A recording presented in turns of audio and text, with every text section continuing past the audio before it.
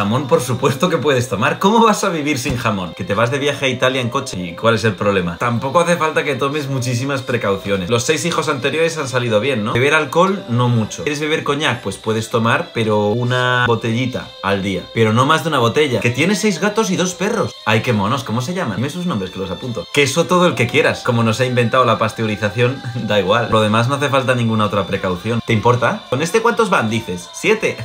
qué bien, ¿no? Mar puedes fumar, no se ha demostrado que sea nada más. Si ves un gato, corre en dirección contraria, hacia donde sea. El jamón ni verlo, ¿eh? Enseñar unas fotos de jamón. ¡Eh! ¿Qué te he dicho? ¿Qué estás mirando? Te he dicho que ni ver. El alcohol ni en herida. Te caes y te haces un corte, dejas que se infecte. De hecho, si vas a Suiza, no puedes ir a Ginebra. ¿Me oyes? Te dejo un papelito con las preguntas que tienes que hacer. En cada restaurante si todo está pasteurizado. Incluso el camarero. ¿El camarero está pasteurizado o no? Huevo por si acaso tampoco. Ni chocolate, ni agua. Agua no. Tienes que aguantar los nueve meses sin beber. Te he hecho una lista con las cosas que sí puedes comer. Aquí la tienes, por si acaso.